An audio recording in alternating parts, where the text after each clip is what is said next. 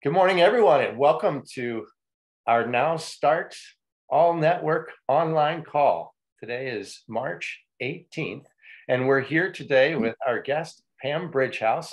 It's wonderful to have, have Pam with us. Pam has been working with Lutheran Latino Ministries for many years, and she's going to share with us a little bit about her background, uh, how she got into Lutheran Latino Ministries and serving with them, what God's done with her through that, and especially how God led her from a place of uh, just not knowing what what kind of service He had in mind for her uh, to seeing some wonderful ministries blossom out of that through Lutheran Latino Ministries. So we've got a, a great group of folks on the call today. There's about 13 or 14 of us, and folks on the call will be having a chance to comment and ask questions a little bit later. But first, we're just going to start off with some time with Pam and I in conversation together.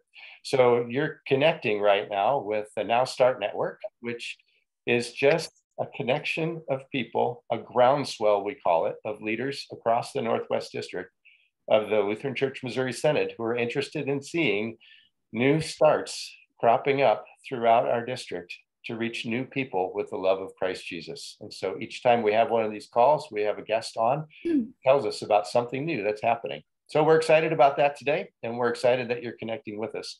Let me open this today with a couple words from David from Psalm 25. David writes to the Lord, Make me know your ways, O Lord, teach me your paths. Lead me in your truth and teach me, for you are the God of my salvation, and for you I wait all the day long. Good and upright is the Lord. Therefore, he instructs sinners in his way. He leads the humble in what is right and teaches the humble his way. All of the paths of the Lord are steadfast love and faithfulness. Who is the one who fears the Lord? The Lord will instruct him in the way. the friendship of the Lord is with those who fear him, and he makes known to them his covenant. Lord Jesus, we thank you that you make your ways known to us. And Lord, as we listen to Pam's story, we're going to hear how you made your ways known to her. And so encourage us through that, that you will do the same for each of us who fear you. We pray this, Lord, in the name of Jesus. Amen. And so, Pam, uh, just to start off with, tell us a little bit about your your background, your your life, uh, your your career outside of Latino ministry. It's the 29th. Well, I'm pretty old, so it might take a while. Um, Okay.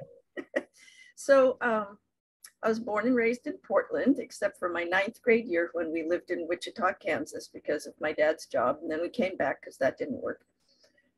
Um, my mom had spent part of her youth in Tucson, Arizona, and when I was little, she taught me some Spanish words, and I liked them, and a Spanish song, and I just, and my dad was a ham radio operator, and I used to hang out with him in his ham shack and listen to him talk to people from all over the world. And I just thought that was so interesting. And I was interested in learning other languages, and God kind of gave me a gift for that and and an interest in it. And um, when I was in the sixth grade, I thought it would be really cool to be an interpreter. But then I changed and in high school, I thought, okay, I'll be a teacher. And I was going to be a special ed teacher. But I tried out for the choir. and 15 minutes later, I was a music major. I've been involved in music all my life. My mom was a very accomplished pianist. And my dad had, in his young days, even been in vaudeville with a comedy and music routine. So, and my big sister was in music theater and. Um, so your dad performed on stage, vaudeville acts? Yeah, he did. Yeah, gags and crazy songs. Uh, yeah, when he was 12, he won a talent contest, which was a year's uh, contract on the Orpheum vaudeville circuit in Western Oregon and Northern California. And so at age 12, and that would be 1930, he hitchhiked from gig to gig and made his own way. And uh, it was an experience. Anyway, um, I went to the college that I went to because of the voice teacher that was there. And my high school private teacher said, You need to study with this lady. And I really thought that I might maybe have a career in opera. But God shut those doors repeatedly. Um, the Portland conductor, who was willing to give me parts the following season, dropped dead one night after the last performance of the season. Then I was trying, and the new guy didn't have any use for me at all. And then um, I, uh, God gifted me with a near fatal pneumonia that uh, kept me from advancing in a, a course and a, a, study that could have been disastrous for me. So I thank God for that 17 days in the hospital. They didn't know I'd make it through the first week. And then when I tried again a few years later, God sent me another baby. So I said, okay, I get the message. And yeah. um, but I did sing with the symphonic choir in Portland, and I have soloed on the stage of the Keller Auditorium, and um, it was very fun, very fun, and done mm. recitals and guest soloist all around the Willamette Valley area. And but that's not the main thing. The main thing that God's always led me to was serving people. I grew up at St. Peter's Episcopal Church on 82nd and Pine in Portland. Very high church Episcopal, and Father Haley was a magnificent teacher for us young people. Um, there was a cohesive group of about 25 or 30 of us, and uh, that he raised in that church, and gave us a really good foundation of the faith. And one thing he taught us was that we are all missionaries everywhere we go, we are missionaries, we are ministers of the gospel. And um, that's just how I roll. When I was a teenager, I wanted, I thought that I might be a nun in the Episcopal orders. But I remember in my bedroom one day uh, thinking about that. The words came into my head so clearly that you will not be a nun. I have a family for you. I was like 16. So I thought I let go of that idea, but I wanted to be a missionary. And so when I um, could, when I was independent on my own, I volunteered at the Episcopal Laymen's Mission Society in Portland, William Temple House. And then I got married to a Lutheran.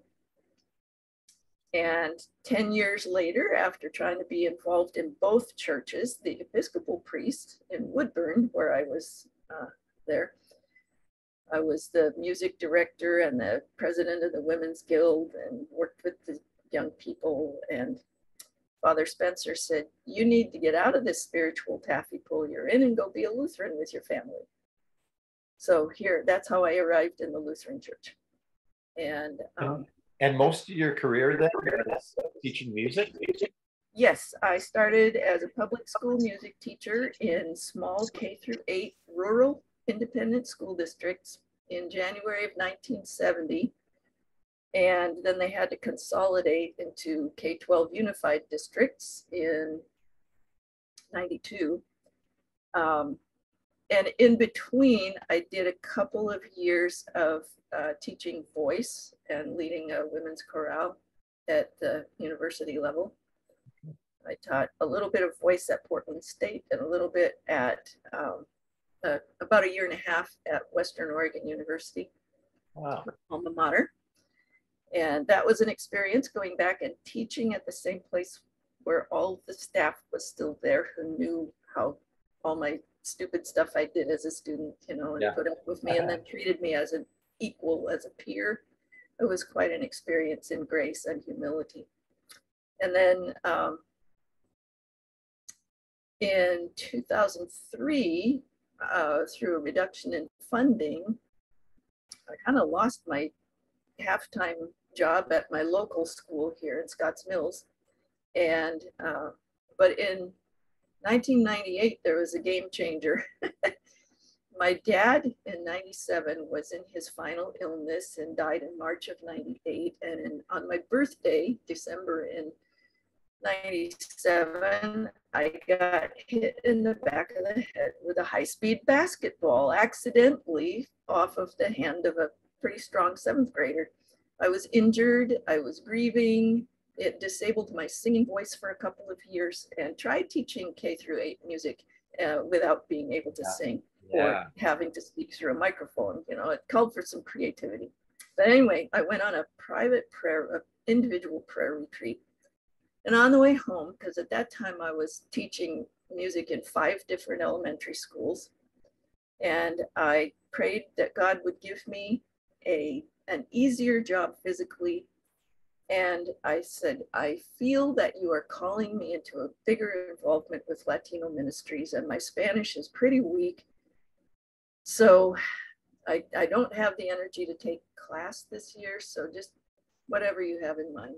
And two weeks later, the junior high in Silverton called and said that they had just lost their Spanish teacher. Could I come and teach first year Spanish to the eighth graders?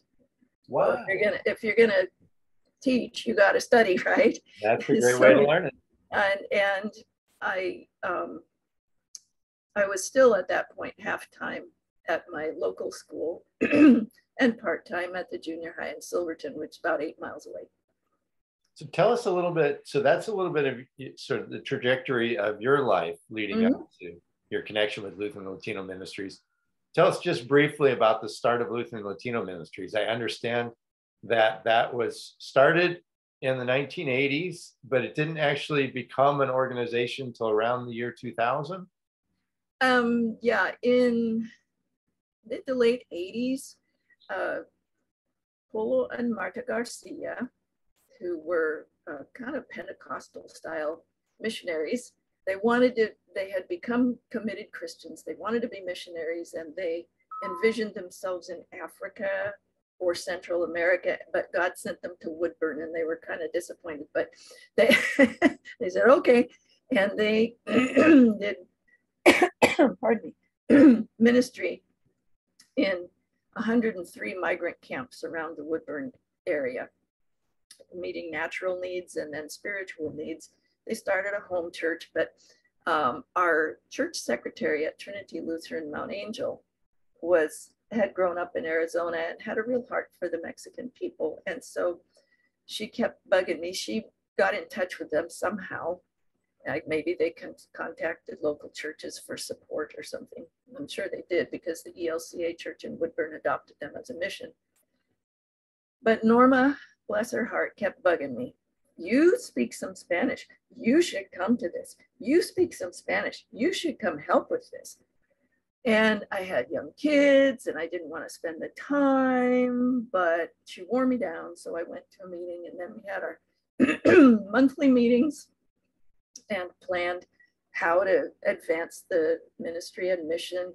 Um, a little group of us, there was people from St. John Salem, um, Ralph Peterson from Oregon City, Trinity, Oregon City, uh, Erwin and Lillian Nicodemus and me and Norma from Trinity Mount Angel, a couple of people from Hope and Woodburn, I think. And uh, yeah, so we met once a month and we were trying to raise funds to put on the Spanish language Lutheran hour. the Ray Hanneman from Trinity, Oregon City wanted that done. He was big in the Lutheran Laymen's League. He wanted to see that happen. So we got together and we tried raising funds for that. And we did, but um, for the local radio station. But the Polo and Marta, they perceived that the um, tone of the Lutheran Hour broadcast at that time was like a little more urban than their very rural uh, clientele. So they did it themselves, and Pastor Polo would preach, and then they'd have a call in afterwards. And through that process, they built a little congregation. And then it, we kept meeting. we didn't really know what to call ourselves.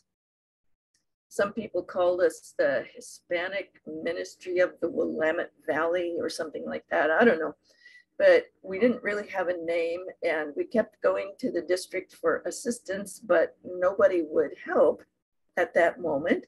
and they kept saying, um, gather people from various congregations together and get a group to support this and we'll think about it. That's kind of the message I remember getting. And our reaction was, uh, didn't we? Because we already had that. Already had it, yeah. But then uh, we got a little more traction. And in 1998, my sweet Norma passed away. And so I kind of inherited the position of secretary treasurer of the group. And then um,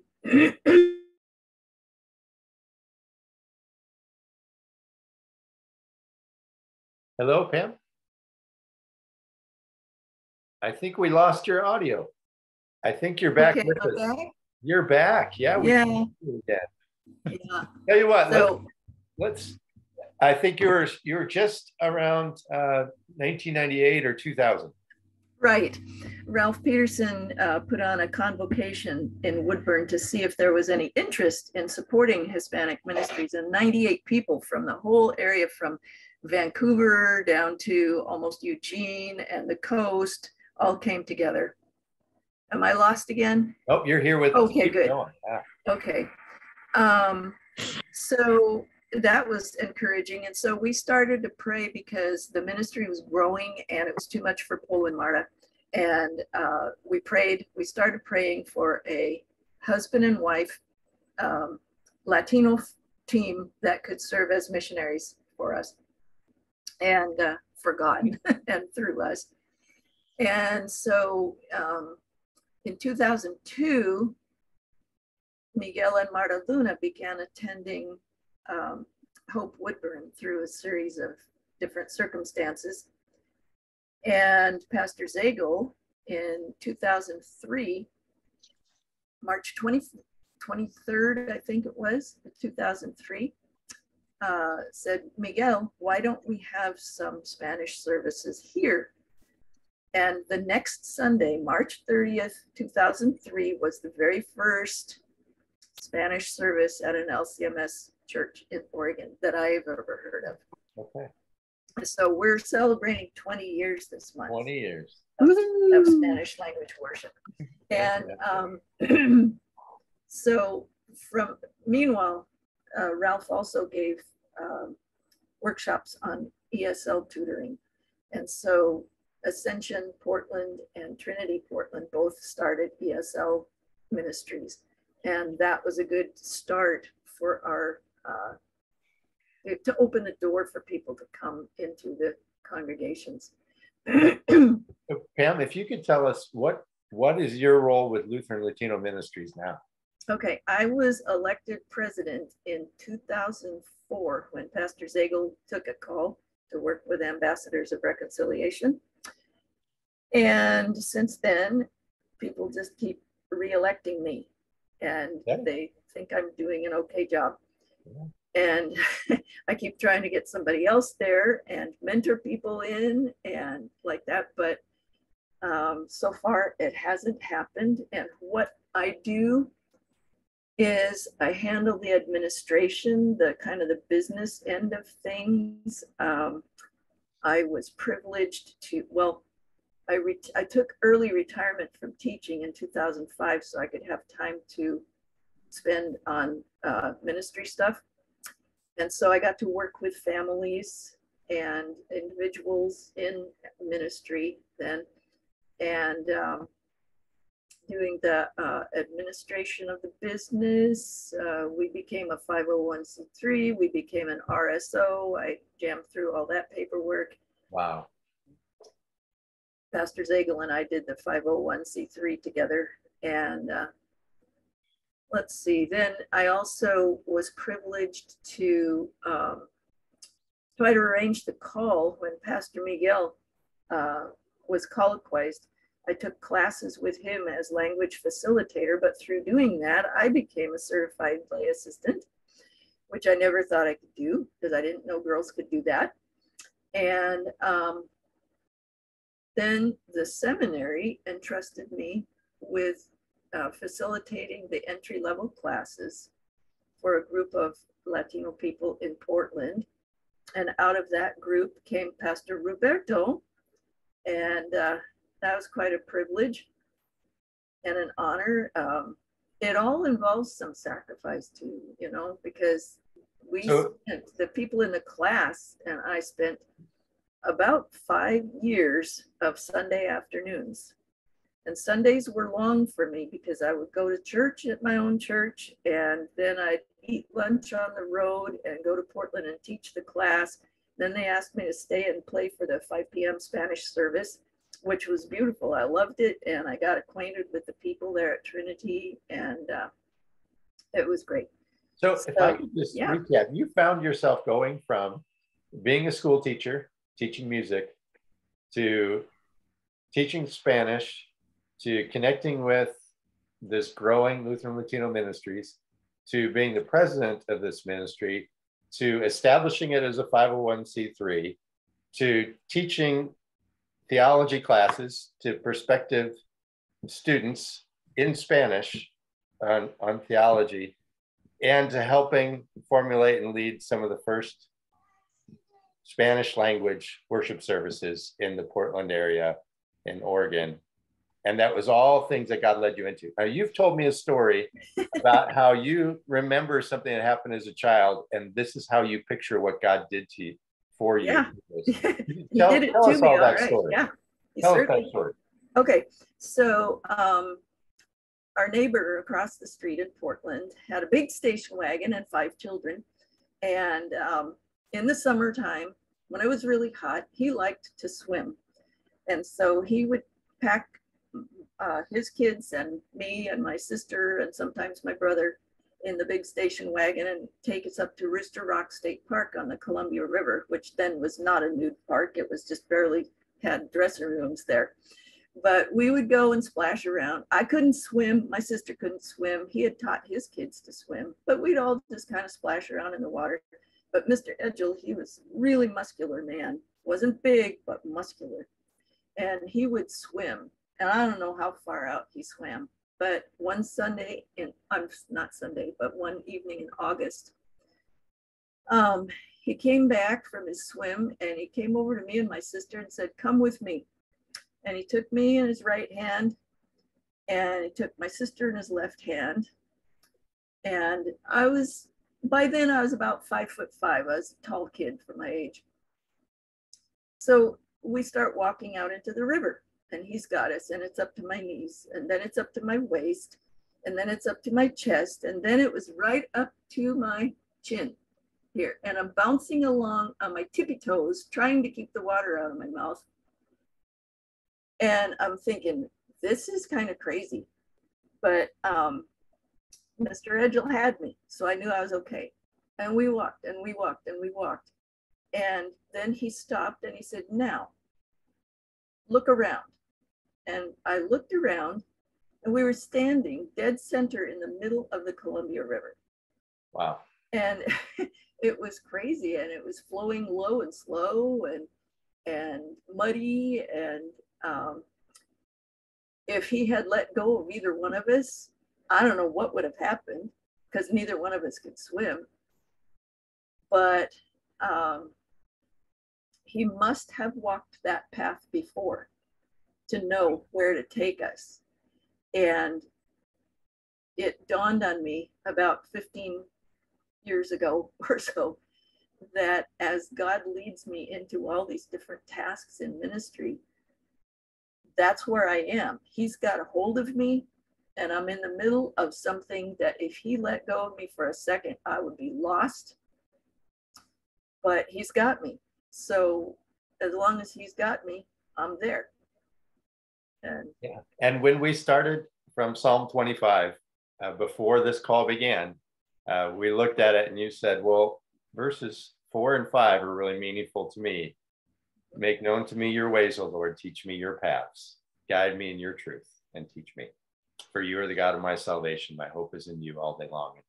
That's what I hear when you tell that story, how God's led you down this path of leadership through Lutheran Latino ministries in ways that you never thought you could do and doing things you didn't expect. And now Lutheran Latino Ministries is starting some more new ministries in the Yakima area, the Hermiston area of Washington, as well as in Salem, Oregon.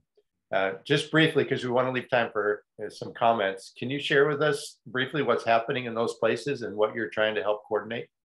Yes, with uh, when Pastor Miguel passed away in 2017, we were just kind of all at sea. We didn't know, okay, now what are we supposed to do? And God blessed us with bilingual pastors who could maintain the worship services and so forth. But uh, Deaconess Marta's whole life had been partnering with her husband.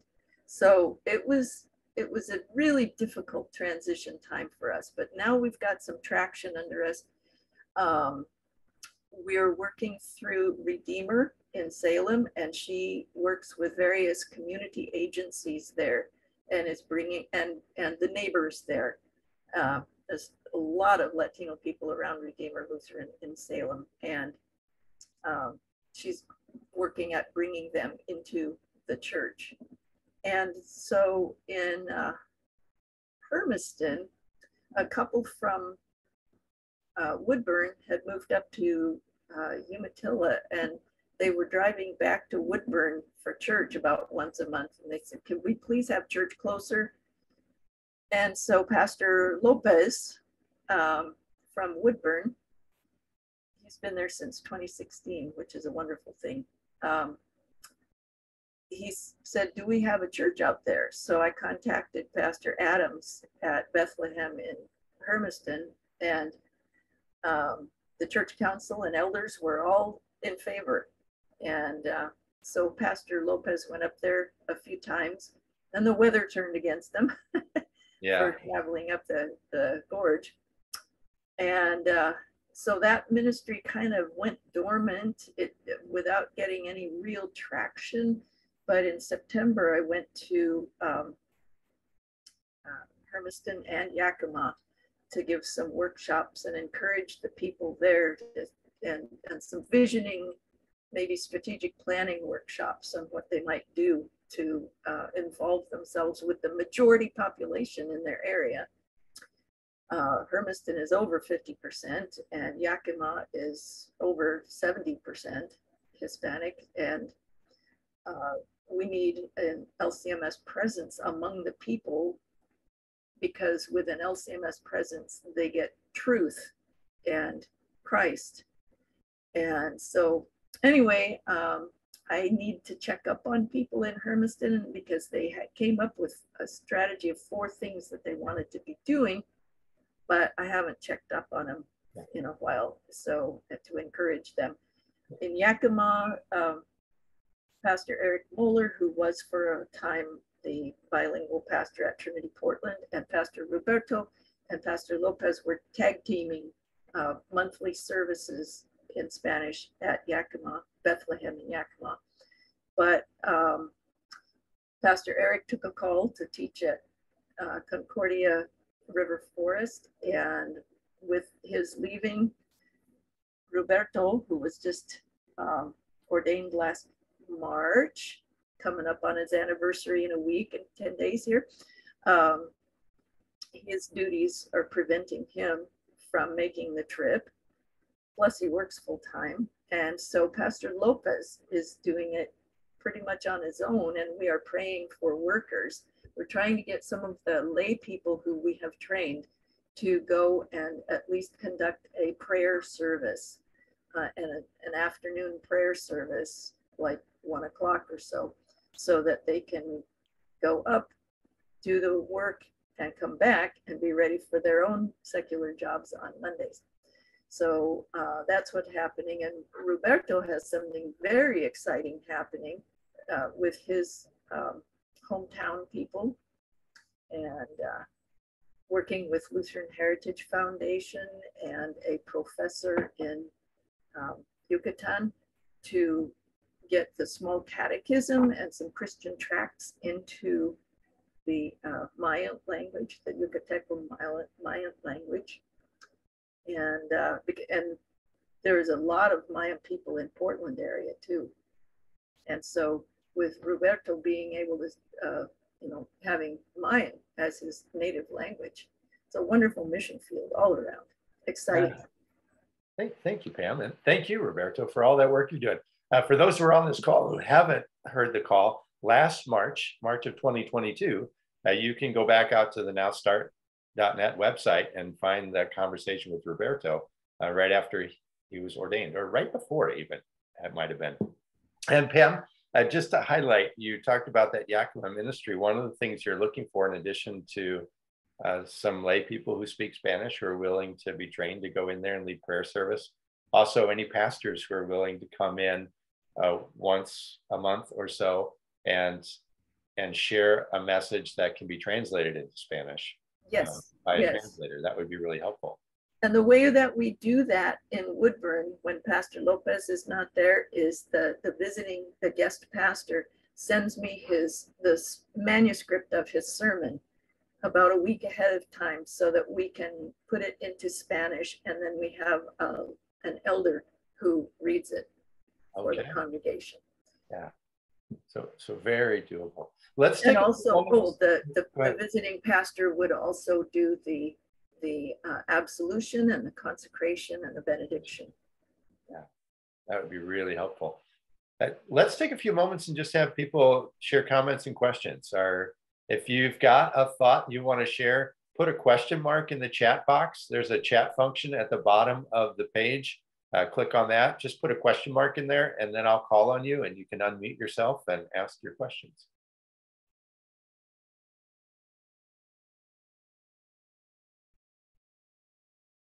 Meanwhile, while people are thinking about their questions or what they want to ask, um, Pam, if you could share one thing with uh, lay leaders listening to this call who may never have imagined themselves in a leadership role in a new ministry, what would you say to encourage them?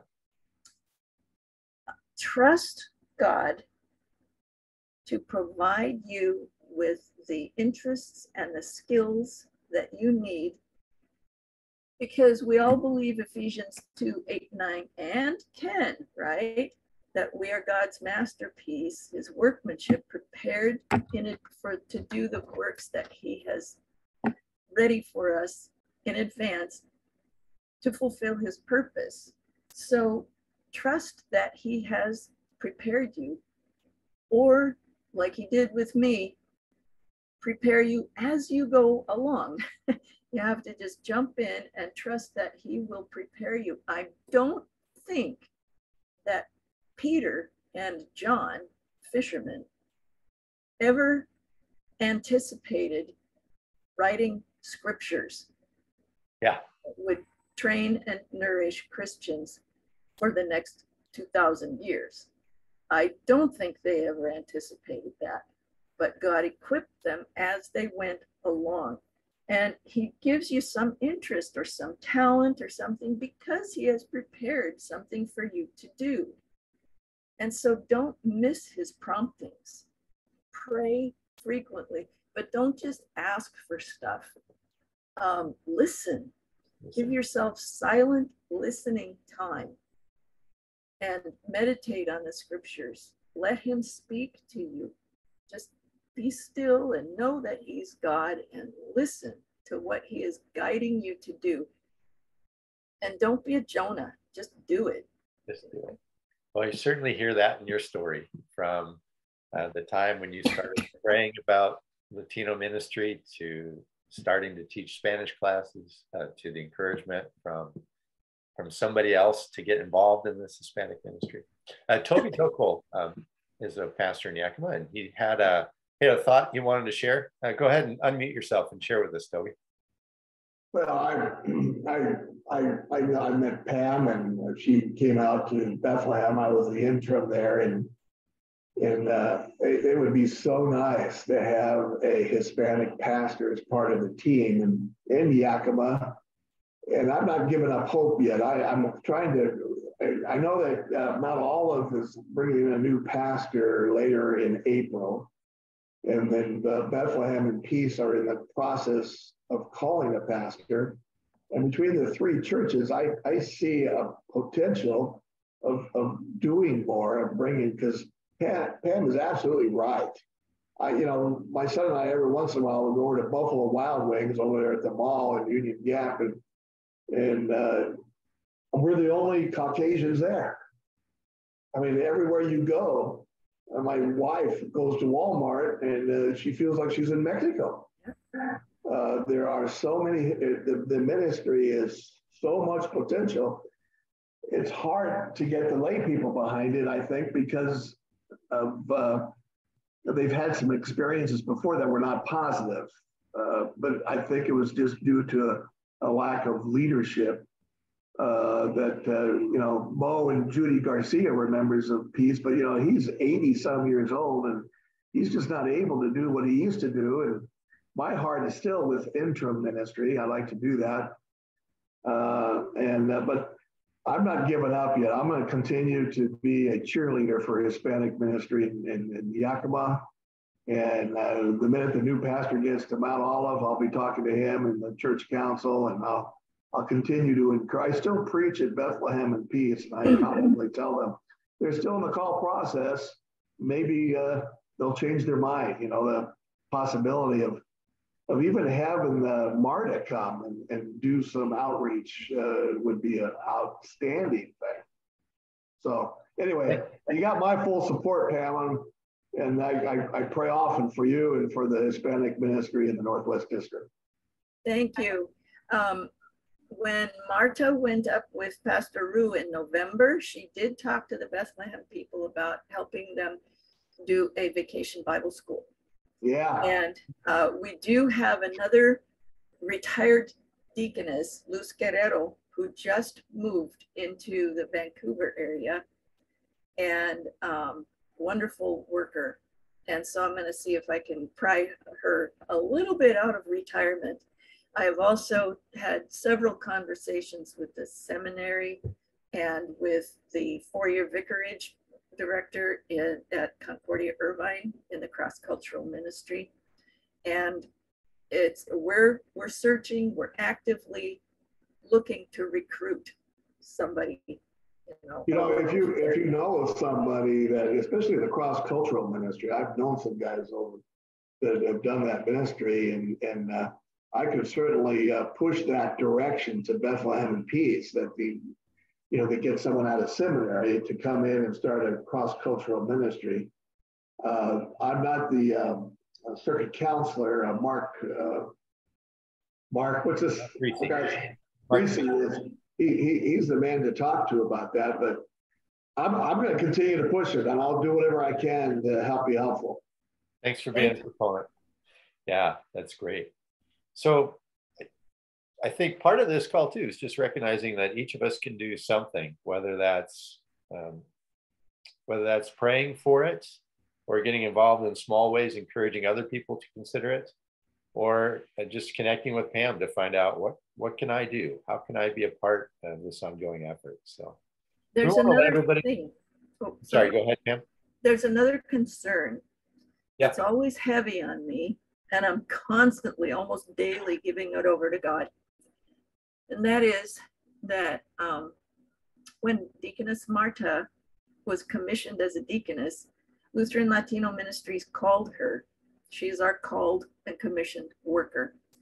And um, we are her only source of livelihood. And if not for a very large gift from a congregation here in the Willamette Valley that closed a year or two ago, and another large um, endowment that was gifted to us by one of our champions. We might have had to let her go.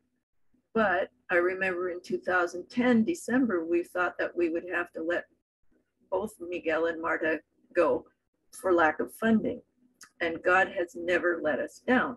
But that is a constant concern, especially now that she is a widow with one teenager still at home, that I trust God to provide for her.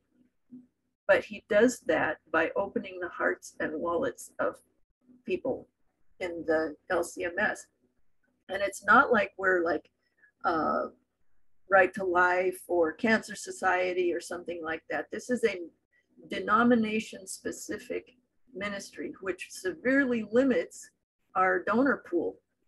So um, that's another thing that we pray for since the, especially, I was just amazed at the resolution that passed the convention commending generous support from members of the district and congregations in the district. So um, yeah, that's that's a concern too. And we have our deaconess intern, who we are also uh, providing a stipend. So that's from coming from 1998 when we could barely scrape together $85 a week to put the um, radio program on the air for 15 minutes a week, you know, uh, to having a budget of $90,000 a year. That's a long way. that is a long way. God's yeah. done a lot with Lutheran Latino Ministries, and we certainly want to encourage that everyone listening to this call, if you have the opportunity to support this financially or to encourage your congregation to do that, that would be wonderful. Yep. And visit Here, our website because on our website there's a, a history and there's frequently asked questions there's and which I send out to all the congregations in the district and. uh, September, October. And there will be a link to that website with more information at the Now Start, where this recording will live as well. People will be able to watch this recording, connect to the the LLM website, but uh, that website is just LutheranLatinoMinistries.org. Is that correct? That's correct. That's another thing that God equipped me to do. I, I write the newsletters and I keep the website up and going. I started the website and it was because of the training that I got when I was teaching Spanish and ESL. And it's just God equips you to do stuff, you know? So and for all those who are on the calls, you're thinking about, well, what can God do with me? Uh, the more you network with people like Pam or like Roberto or others who are on this call, um, you'll begin to see opportunities where God can use you too. If it's if it's something you like to do in person rather than just on Zoom, we have an opportunity for that coming up this April, April 21st and 22nd. We're going to be in Puyallup, Washington at Emmanuel Lutheran Church with our in-person Now Start Network event. It's called Germinate. We're trying to keep it really inexpensive so folks can come if you come with a group from your church, it's just $25 a person. If you come by yourself, it's $50. Um, but come to Puyallup on a Friday evening. We'll be gathering together in Three on the Ave Coffee Shop, which is Emmanuel's coffee shop, to learn about that ministry and how it started and what kind of community partners they have. And then on Saturday, we'll have some speakers joining us we'll have a speaker from Garden City Church, which is not a LCMS church, but it is a church plant in Puyallup. And they're one of their church planting pastors is going to come talk to us about the logistics of church planting, the challenges and joys of it. And then after that, we have an LCMS speaker coming in who's coming from the Lutheran Church of the Good Shepherd, which is in Seattle, who has just broken ground in December on a new homeless ministry, which is a housing project on their property and how they're going to be housing homeless and starting ministries to care for them. And so uh, Steve Tucker is going to be with us. He's going to be sharing with us about, and he's a layperson from that congregation, a lay leader who, a lot like Pam, uh, was walked by Jesus right into the midst of this homeless ministry. We're excited to hear from him. There's also going to be an opportunity there for teams to come and present your new start ideas and a thousand dollars of new start money that's being given by Lutheran Church Extension Fund, and it's there waiting for the team that has the best um, the best new idea. We'll be awarding that thousand dollars of money to you to get it going, uh, so that you don't have to try to scrape together eighty five dollars a month for a, a, radio program. But those are just some of the things coming up with Now Start. Uh, we look forward to seeing people there. It's just a network. There's no membership. There's no fees. Uh, we only charge just to make things happen. Uh, but we have a lot of support from the district as well. And so we're thankful to the Northwest District for supporting this event that's coming up in Puyallup. And we look forward to another one of these now start all network calls coming up in mid-May. We do these the third week of every other month. So third week of May, we'll be doing this again. We look forward to having you connect with us then. And again, if, if there's anybody you know who would be encouraged by this call, uh, send them to www.nowstart.net sometime next week. This recording will be out there. They can listen to it. They can be encouraged by it too. Uh, Pam, any last words you'd like to say before we close for today? If anybody thinks of any questions or anything, um, Lutheran Latino Ministries at gmail.com. Great. I'll Lutheran Latino. Ministries at gmail.com. Pam answers that email. And to learn more about that ministry directly, LutheranLatinoMinistries.org, and you'll find it there. We hope everybody has a great Saturday. We, we want to let you get back to it. Thank you for everyone who joined with us on the call today. If you joined us, uh, your email and information is now in our Now Start network database, and we'll be sending emails to let you know when the next Now Start event is coming up because you're now a part of Now Start. Uh, thanks for being with us today. Have a great week in the Lord. God's blessing. Bless you all. Thank you.